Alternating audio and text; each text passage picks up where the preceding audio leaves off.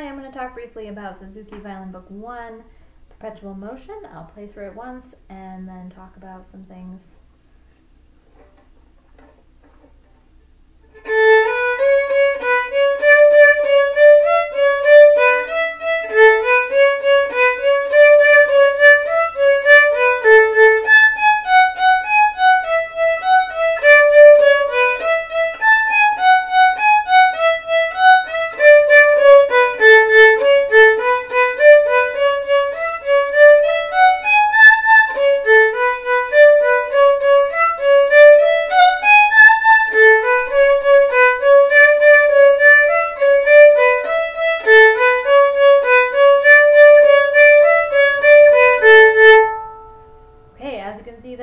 song has a lot of notes, and I did play it kind of fast, okay?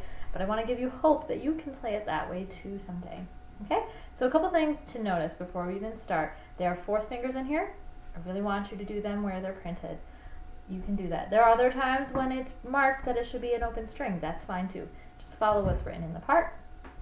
Okay, the other thing is this is a really good opportunity since it's all just notes. There's no crazy rhythms or any other really weird technical thing, it's a good time to just work on getting, making sure your second finger is in the right place. Because I notice a lot of students always struggle with that. So make sure second finger has a space, okay? In some ways, we would almost call this a stretch. And then the third finger and the second finger should be really close together.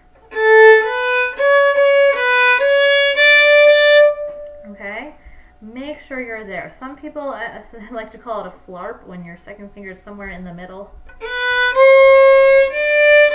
Yikes, ouch, right? Okay, so make sure it's high enough or close enough to your nose.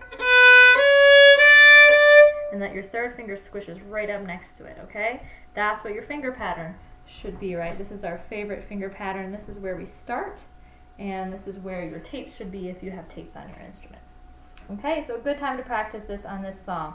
Um, there are times when you're going up to it. There's times when you're coming down. So like in measure five, you're starting in third finger. If you're not sure if it's in the right place, you can check it with your open A.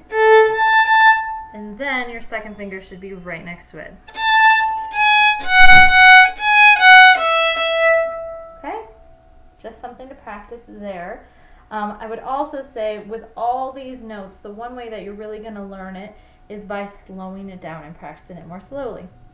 Okay, it's important though when you practice slow that you practice the same way you're going to play it when you're playing it fast. Let's see if I can demonstrate.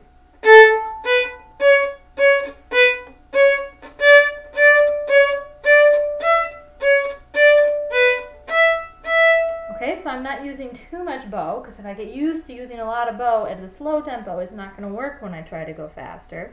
So that's one thing, not too much bow. The other thing is I'm tr still trying to move my fingers pretty quickly in between notes.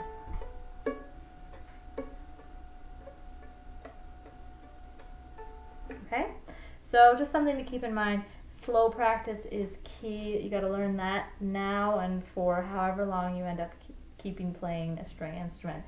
Okay, so uh, I think that's pretty much it. I'll play through it one more time, this time a little more slowly and you can try to follow along. You can try to just finger along or play, play along, whichever works for you.